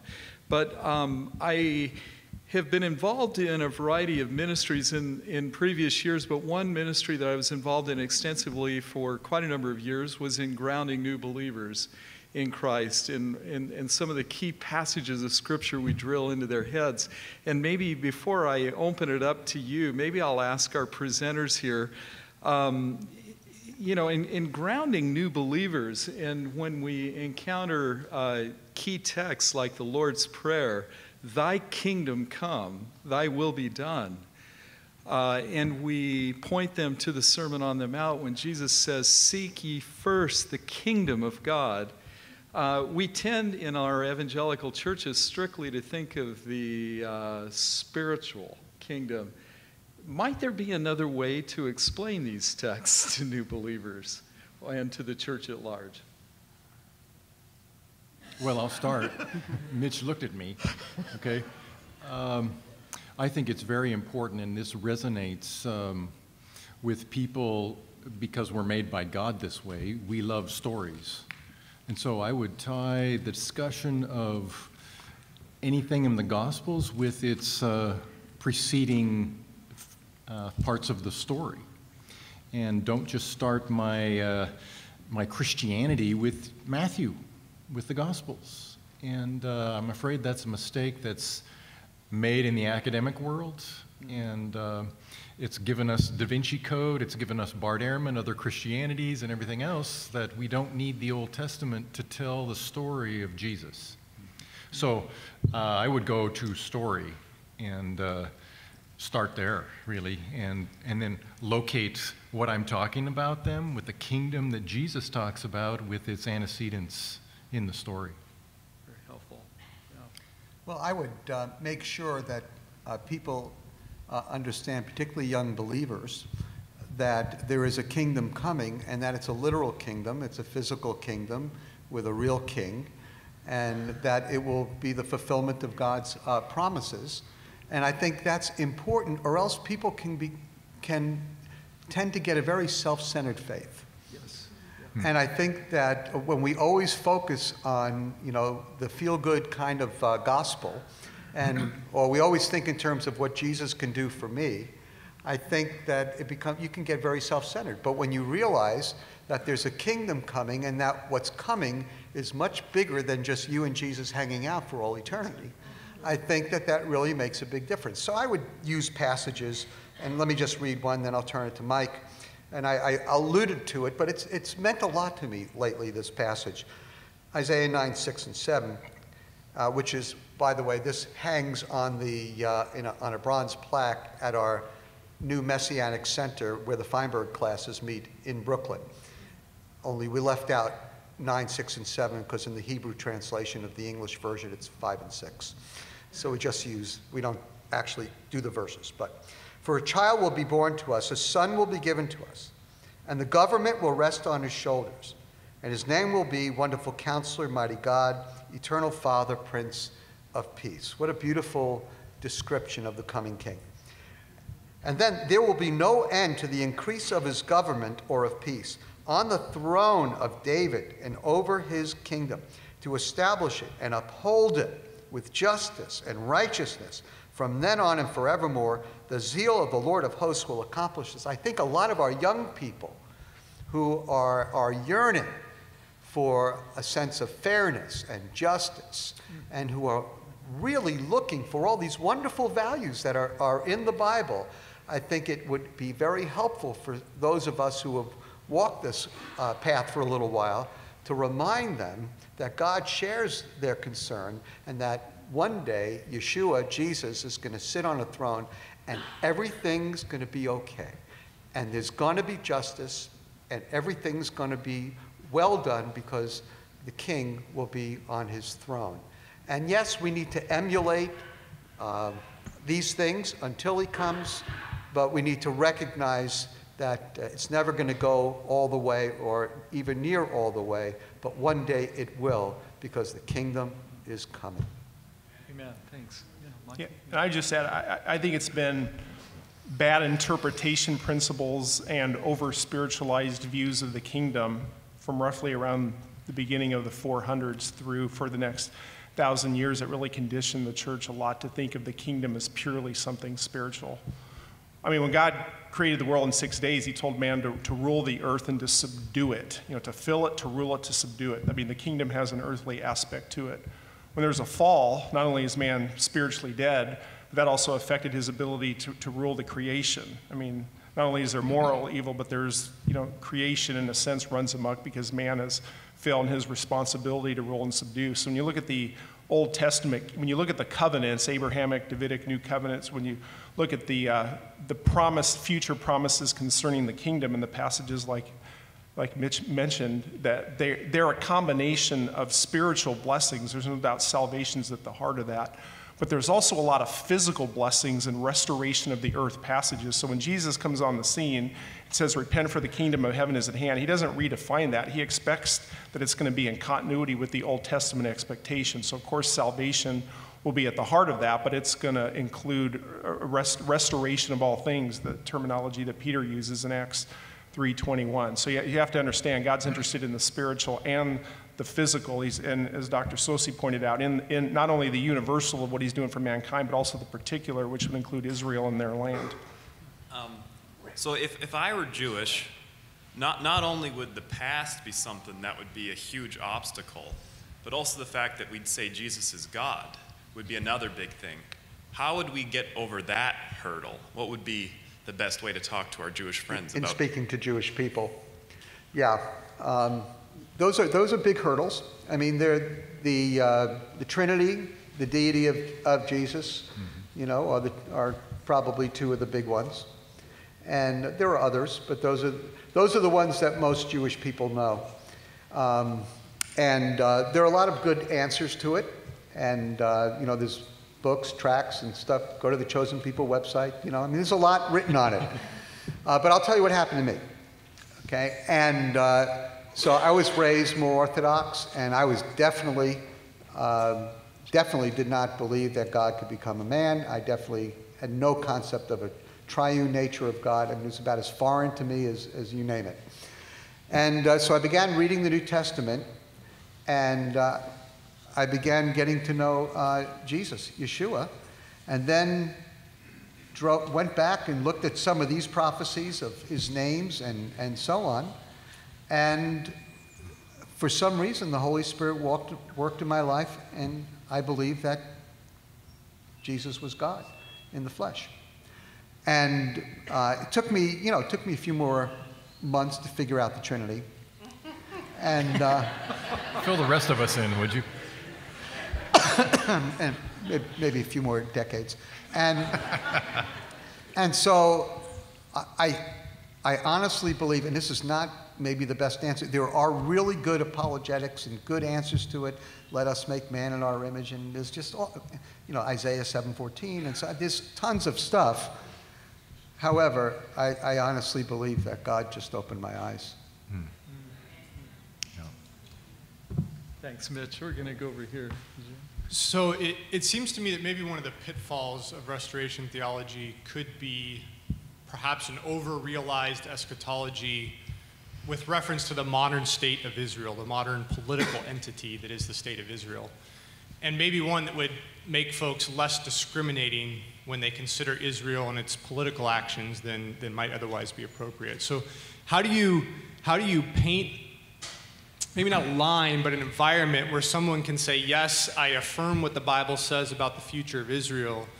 But, but that doesn't mean I walk all the way down the road to where, you know, a nuclear deal with Iran is a new Holocaust in Benjamin Netanyahu's perspective. What, how, do you, how do you maintain that balance? Well, that's an easy one, Mike.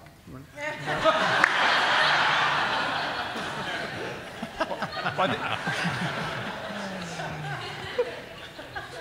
I think, I mean, I think it's important, uh, as far as the realized eschatology part, I mean, I mean, the scripture seems to indicate that it's with Israel's belief that the, that the, the restoration of all things comes in. As a matter of fact, as I, as you, as you were stating that, making that statement, I was thinking of uh, Acts chapter 3, uh, verses uh, 19 to 21, where, you know, Peter's telling the people of Israel that if they, if they repent and return, then times of refreshing would come.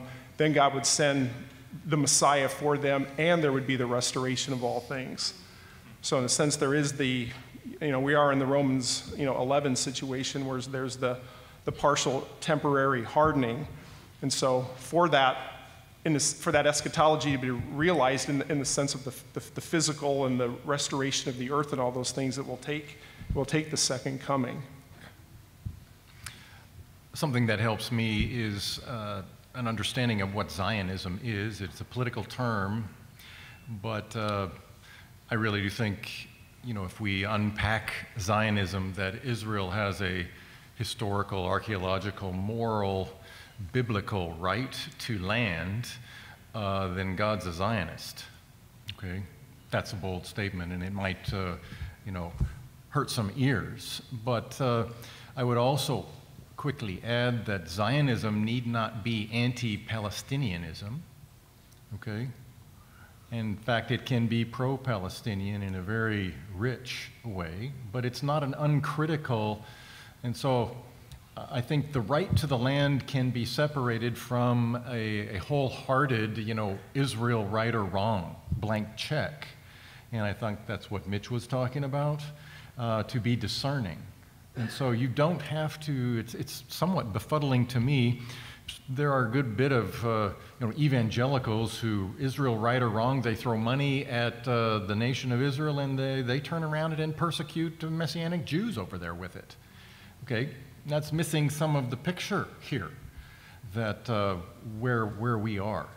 And so I would resist claims that therefore because I'm a biblical Zionist, that Israel has no right to the land, which is where the rhetoric's going these days. I, I put the protest there and I will say no, but that doesn't mean anything they do. I'm uncritical about it. So it's, uh, I'm attempting to articulate kind of what Mitch was saying, that you be discerning, okay? And that my affirmation of Israel's right to that land does not mean that, they, that I'm uncritically about it. I, just one last word. I, I think we need to get our Bible straight first. You know, and uh, you know we have enough problems figuring out our American politics right now. Okay, and so we, we've got to get our Bible part straight. We're Bible people, right? And so when I'm that's why I said, you know, think biblically and, and act locally. You know, if you believe that God gave the Jewish people the land, then stick to it. You know, let other people know. Don't, don't be afraid of saying it. If somebody says to you, yeah, but I don't like what, uh, you know, the Israelis did to the uh, Palestinians, you say, well, uh, you know, that might be the case. You know, you know, things happen, particularly in civil wars. But what you have to say, first of all, is Israel has a right to the land. And if that's God's plan, then support it. I'm going to ask a, a practical question. Um, if your church, um, the uh, leading pastor is uh, is believing in the uh, uh replacement theology very strongly, and would uh, uh, either suppress or or try to um, I guess, exclude those who believe in what we have been discussing tonight. What would be the, uh, the practical advice other than, uh, of course, prayers? Wha- How would you approach that as the members of congregation? Who wants to take that one on? Go ahead. Go ahead. Yeah, th- th- that's obviously a, a difficult, did you say this was like a situation of, of a church that you're going to or whatever? I mean, I think it'd be, I mean, there are people who hold a replacement theology who obviously are believers. I mean, we don't, usually don't make that a litmus test. Obviously think there's dangers inherent in replacement theology. Usually practically, the immediate practical results of any one person holding a replacement theology probably aren't that great other than the fact that they're being wrong and there's a dishonoring of God in the sense of what he says on those particular issues. So we usually, I mean, like, you know, instead a person can be a, a, a believer. Um, I, I would just say, I, I, it would be difficult for me to go to a church where somebody was strongly replacement theology because they're getting a lot of the Bible wrong. They're, gonna, they're getting a lot of the Old Testament wrong. They're getting a lot of the hope of the Israel that's presented in, in the New Testament. Plus, history seems to show, like I said, whenever just one person holds a replacement view, usually the implications aren't that much. But when you start to get large scale numbers of Christians hold that particular view, that's where you things can be dangerous. And, uh, and oftentimes, it's not, it's not the case that uh, everybody who holds to replacement theology is anti Semitic. That's not the case at all. But there's no doubt that replacement theology oftentimes can be the soil for that. And the more people that start to hold it, the more dangerous it becomes. So it would be difficult for me, without questioning someone's salvation, it, it would be difficult for me to go to a church that held that because they would get so much of the Bible wrong that I don't know if I would want to subject myself to that. When you're part of the pastoral ministry, The plot thickens. Yeah. Yeah, It's not easy. Yeah. yeah. Our time is racing on, and I'm not sure we're going to be able to right get to about prayer. everyone here, but I'm going to ask you to uh, take the next question. Yeah. Thank you. Uh, My question is the rapture. Um, About the rupture, And, um, you know, I, I'm pre-tribulation. Uh, But who is the church? Is the church, because there is so many denominations, and, uh, you know, so many of us claim to be Christians and are not really. And the reason why I'm saying this is because, you know, voting time is getting close, and there is so many evangelicals that I personally believe that are going with the wrong candidate. so um, that's one uh, question. I mean, So uh, what- who will be who will be the If- church in, in itself? So who is the church? If we, bel- what you're asking is, uh, who will be raptured? What, C- uh, the church. Well, the church is going to be raptured. Yeah, Who I- is the church? Who encompasses well, the church I'm surrounded by theologians, but I'll take a stab at it, okay? And uh, um, uh, the church consists of all those people who are born again and truly believe that Jesus is the Messiah. And those are the ones that will be raptured.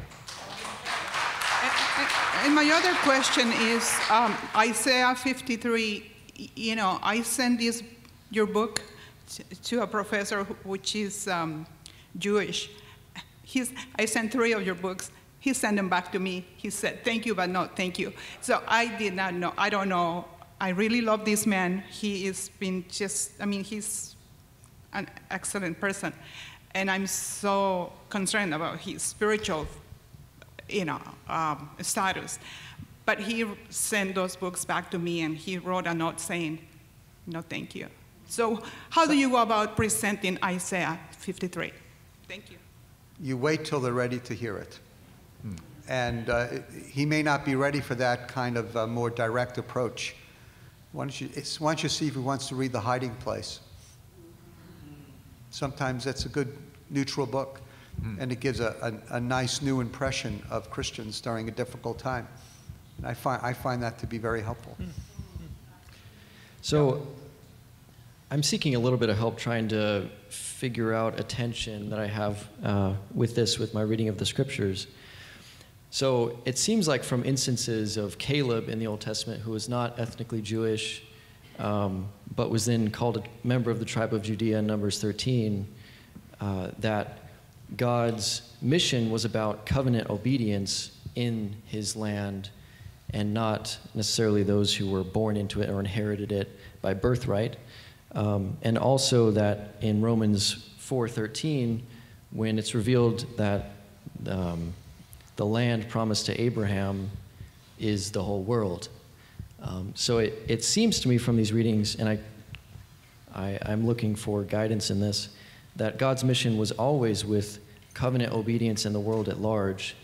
Um, it happened to be national Israel at first, so that God in Christ could reveal uh, his whole mission to the Jews and Gentiles alike. So, um, what are your, your thoughts on, on that? Can I jump in here? Uh, helpful to me is to, when I'm in the New Testament, let the prophets be the script. Okay? Do the prophets uh, see a vision that encompasses the whole world that is tied to Abraham? Clearly they do. When you look at uh, the enunciations of the new covenant in Jeremiah, Abraham's name is mentioned in chapter 31, and he's the the, uh, the, the uh, marker all the way through. So a universal and a, and a, uh, a uh, particular, and it's also important to note that how the prophets saw the particular meaning a one nation, a restored nation, relating to the universal, in that uh, the gospel or good news going to the universal to them did not mean a supplanting or an uh, a denial of a particular. They saw both happening, both on the scene at the same time. Okay? So, what is a problem for maybe replacement folks is they say the gospel's gone to the whole world uh, is, uh, is not following the prophet's script. In that we say because we have Jesus, we now have, uh, we've got the whole thing. Well, the prophets also said uh, there would be a king and a nation. They didn't have a problem with uh, the king being around and um, messing with the integrity of the nation. So, uh, both of those, I would read Paul in light of the prophets, which I think he says he should be read in, okay, in Romans uh, 9 and 11, that he's, he's really hanging on to the covenants and the promises are theirs. And so I've got to find my cues from the prophets for how I read, uh, how I read Paul. Thanks, Mark. I'm going to ask Mitch to have the final word here, and then we're going to conclude the panel time, and then I'm going to ask Paul Rood to come up. But uh, Mitch, would you like to say anything on this, or just as a word of summation for our, our time this evening? I think we've had uh, a good opportunity to look at these issues. We all wish we had more time. And uh, some of you I know who really wanted to ask questions. Um, I want you to know that uh, these two brothers will be around afterwards to answer all your questions. I'm standing next to him. And uh, how many of you think we should do something like this again? Just, okay.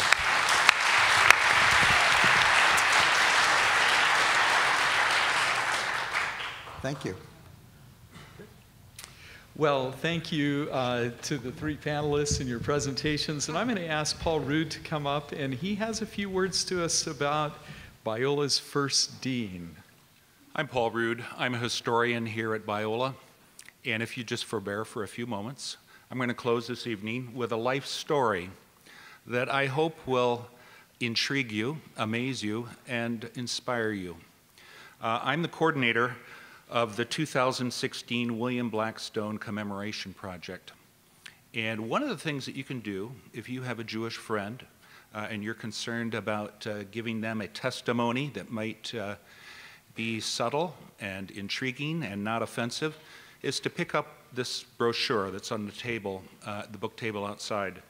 Uh, it's an article written about one of Biola's founders, William Blackstone, uh, that was published by a Jewish historical publication last month. It's written for a Jewish audience, secular or religious. And I think that his life and testimony, testimony would be something that uh, will cause them to ask some questions. Uh, one thing I just want to say briefly is show you a couple of pictures and just breeze through the amazing story of why we can have an event like this at Biola one of the few educational institutions where uh, this theological perspective is still honored. Uh, our founder in 1908, Lyman Stewart, a devout Presbyterian Bible packing oil pioneer who founded this school, hired William Blackstone to be Biola's first dean. For the prior decades and for the remaining years of their lives, they served together in close partnership at Biola, and Blackstone served as the Stewart brothers' legal trustee and administrator of their trust established for world evangelism. Blackstone summarized the mission of the Stewart Evangelization Trust quite simply. Our responsibility is to evangelize the world. This is our principal aim, emphasized by the blessed hope of our Lord's return and the teaching of the prophetic word concerning Israel and their Messiah. This tells us a lot about the theology and evangelical perspective of our founders. Uh, Lyman Stewart was thrilled by the early Zionist movement and the attempts of Jewish refugees to rejoin the Jewish remnant in Palestine, their national homeland. Writing in 1913 to his grandson, he explained, We know that Scripture is inspired, as prophecies that were written 2,500 years ago have not only been literally fulfilled, but are being fulfilled today, right before our eyes, in the Jews as well as in the conditions of the nations of the earth. Prophecy, you know, is simply history written in advance and known unto God are all his works from the beginning of the world. While researching through Stewart's personal papers in our Biola archives, I was puzzled by a number of receipts for payment he made to the B'nai B'rith Messenger, the leading Jewish, Jewish journal here in the West. I noticed on one of the receipts the notation Isaiah 53. And sure enough, when I was recently able to find copies of these old journals in the UCLA archives, I saw that Stewart, the president of the Union Oil Company of California, was paying for placement of Isaiah 53, verses 1 through 12, in the Passover edition of the journal each year. Blackstone was a leading Bible conference teacher, a founding trustee of Moody Bible Institute, and the founder of the oldest mission to Jews in America. The motivating factor behind his evangelistic fervor was his belief in the imminent return of Jesus. His serious study of scripture texts also convinced him of the literal restoration and salvation of the Jewish people for a central role in God's plan in history. He courageously appealed to a literal reading of the biblical prophecy wherever appropriate. Dear reader, he wrote, have you not read the declarations of God's word about it? Surely nothing is more plainly stated in the scriptures. His book, outlining his prophetic interpretations Jesus is coming was published in 1877. It became one of the best-selling books of the 19th century, translated into 48 languages and several million copies were sold. His premillennial opinions ran counter to the mainstream views of Christianity in his day, but to a large extent he and his premillennial colleagues were successful in encouraging it to be a view of many, if not most, conservative evangelicals today. Two decades before the founding of Biola in the summer of 1888, Blackstone attended the World Missionary Conference in London, and from there he traveled by train across Europe to Istanbul, where he witnessed great throngs of suffering Jews who had recently been expelled from Russia. Unwelcome and despised in Europe, these Jews were desperately seeking asylum in the Americas and in the Ottoman Turkish Empire. Blackstone next traveled on to Palestine, where he observed Leon Pinsker's new movement, Hovevei Zion, the Lovers of Zion, which had been organized to establish Russian Jewish immigrants into new agricultural settlements. Blackstone was impressed and was moved to support this humanitarian effort to resettle Jewish refugees in their homeland. Upon his return to Chicago, he met individually with many of the rabbis to share with them his recent experiences among the Jewish refugees and the new settlements in Palestine.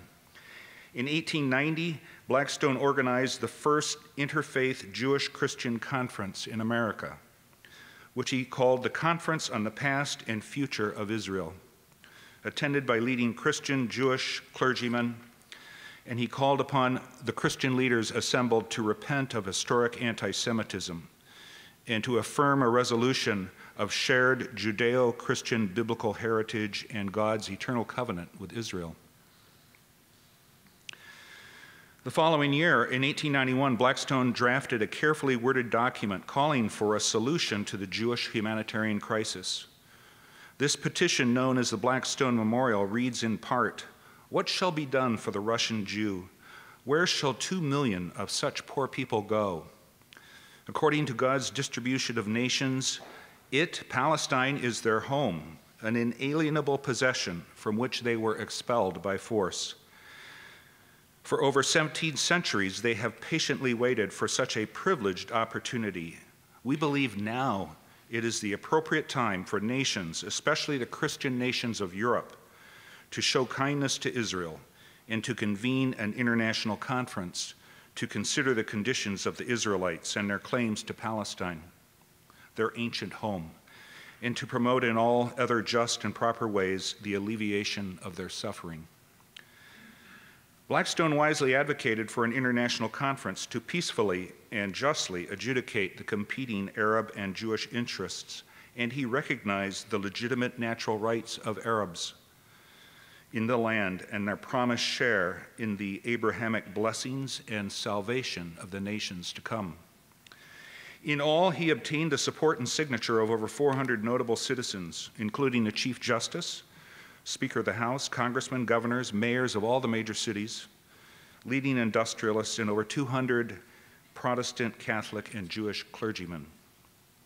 Over the next 25 years, Blackstone pressed America's presidents and secretaries of state for diplomatic initiatives to advance the humanitarian interests of Jews.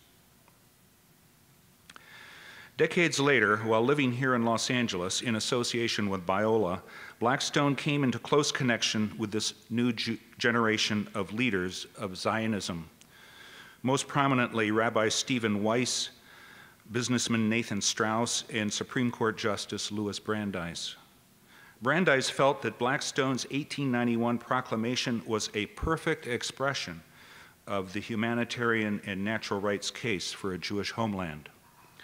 Brandeis asked Blackstone to address the Jewish National Zionist Conference, where he introduced Blackstone as Zionism's greatest ally outside of its own ranks. Brandeis said that Jews needed help from their Christian friends and pressed him to reissue the proclamation on its 25th anniversary, 100 years ago, in order to present it to President Woodrow Wilson uh, to enlist his support for the Balfour Declaration. Blackstone's relationship with Justice Brandeis grew very close, and he frequently shared with Brandeis, in person and by letter, the gospel and prophetic scripture. During a remarkable exchange of letters in 1917, during the height of World War I, with German and Turkish battle lines drawn across Palestine, Blackstone stressed that the last days were perhaps drawing near. When the Lord will return for his believing followers, as he promised, and he specifically related 1 Thessalonians 4 16 through 18, the Lord himself will come down from the heavens with a loud shout and the voice of the archangel, and with the trumpet call of God. Blackstone wrote, May I ask you, Dear Mr. Brandeis, if such an event shall occur, will it not be convincing to you that I'm holding a right understanding of Scripture prophecy? What a bold man. Blackstone respectfully asked Brandeis to examine the evidence that Jesus is his people's Messiah and his Savior. He said, If, however, you cannot accept Jesus now and would be left behind would you consent to replace me as the executor of the Stewart Brothers World Evangelization Trust, which at that time held more than $7 million? He said, quote, so it may be properly spent for the assistance of the many thousand Jewish witnesses who will proclaim the word of God and those who come to faith during the coming period of world tribulation. Brandeis wrote back that as an officer of the Supreme Court, he was prevented from any private legal advice or performing any such role as the legal agent of the Stewart Evangelization Trust. He did, however, allow that he would accept letters of instruction to be held in his safe deposit box and would, in the event of the rapture, obtain and review these instructions and comply in any way which he felt was appropriate. Blackstone was relieved by this. He wrote uh, this remarkable cover letter.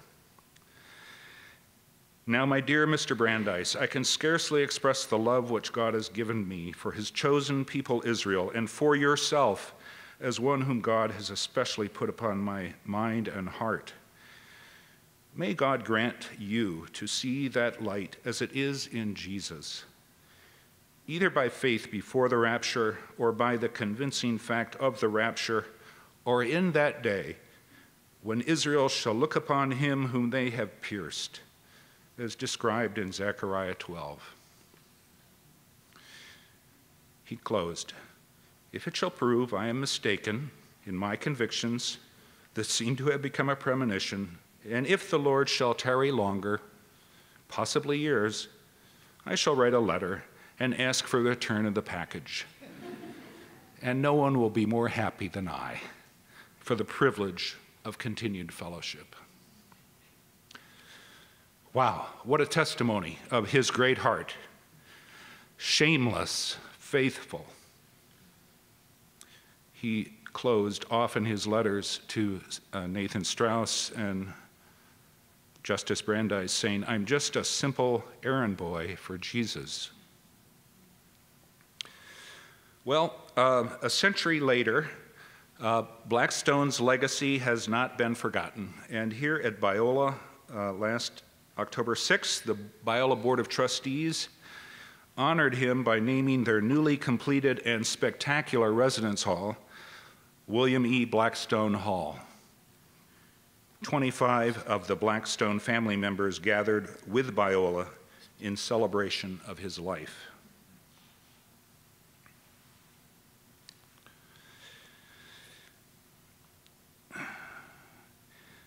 Israel's former ambassador to the United States, Michael Oren, who's a highly regarded historian of Israel US relations, mentions Blackstone six times in his recent book, Power, Faith, and Fantasy America and the Middle East. He highlights Blackstone in the foreword, the epilogue, and throughout.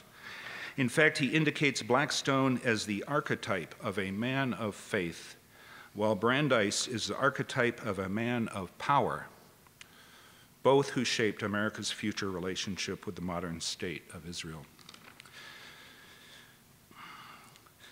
Uh, I'd just like to invite you uh, this year is a very important year, the 175th uh, year uh, commemorating his, uh, Blackstone's birth, the 125th year since his 1891 proclamation, the centennial of his 1916, 1916 uh, take one of these brochures or pamphlets that I have in the back. it tells the whole story. it's a great story to share. Also, sign up with your email address. I'll put you on our mailing list and tell you about the events that we have planned. Um, we've received from historians, Jewish organizational leaders, and Israel, Israeli government officials warm and enthusiastic response to this project. Uh, rabbi Yitzhak Adlerstein, an Orthodox rabbi here in Los Angeles and officer of the Simon Wiesenthal Institute, said to me last week Blackstone is a figure of great significance to us. I look forward to bringing Jewish leaders and young people and holding hands with my Christian friends at Blackstone's gravesite. He said, which I understand is at Forest Lawn here in Glendale. And there we will have a memorial and a prayer service together, thanking God for blessing us with his life. If such an event happens, that will truly be a great testimony. Here's his simple gravestone. Thank you. We hope you enjoyed this message. Biola University offers a variety of biblically centered degree programs, ranging from business to ministry to the arts and sciences. Learn more at biola.edu.